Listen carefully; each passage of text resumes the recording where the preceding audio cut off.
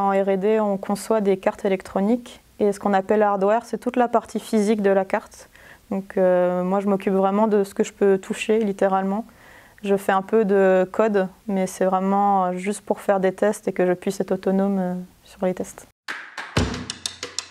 Le fait d'avoir un problème et de trouver une solution euh, la plus simple possible, la plus rapide des fois, la moins chère, ça dépend des cas. Non, il y a beaucoup de paramètres qui font que j'aime bien. C'est un, métier quand même qui demande de, l'expérience et beaucoup de connaissances et on en accumule. Et c'est là aussi où on voit, ah j'ai progressé depuis l'année dernière, ça je l'aurais fait en quatre jours et aujourd'hui je suis capable de le faire en une journée. Donc c'est satisfaisant.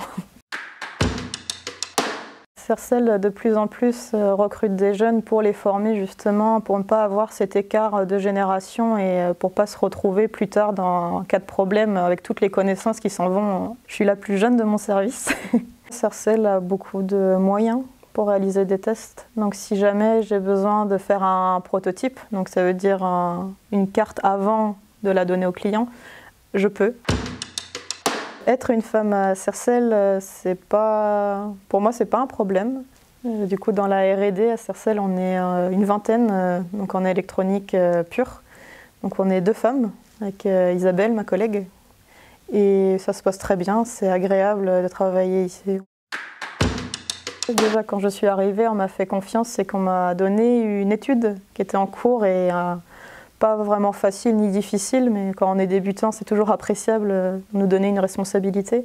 Et j'ai réussi à la mener à bien avec bah, l'aide de mes collègues. Donc la, première valeur de Cercel pour moi, c'est la performance et la qualité d'une carte électronique. Travailler pour euh, quelqu'un qui est exigeant dans le produit, ça veut dire qu'on va faire beaucoup de méthodes. Donc euh, on va être très méthodique sur les tests. On va essayer de comprendre pourquoi c'est important de tester telle fonctionnalité et tel composant. Une, des valeurs au niveau humain, c'est euh, peut-être le temps personnel avec le temps de vie entre professionnel et famille. Aujourd'hui, Sarcel cherche à se diversifier. Et pour moi, c'est important de mettre du coup, nos connaissances techniques sismiques, notamment pour des nouveaux projets comme les études de, de pont, donc de génie civil. C'est agréable de pouvoir faire partir d'une entreprise qui sait se renouveler.